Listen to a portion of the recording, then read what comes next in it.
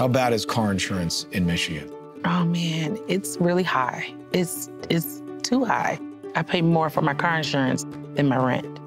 So now, for the first time in almost 50 years, Michigan drivers have a choice to save money on their car insurance. Like how much? Up to 60%. And how will you do that?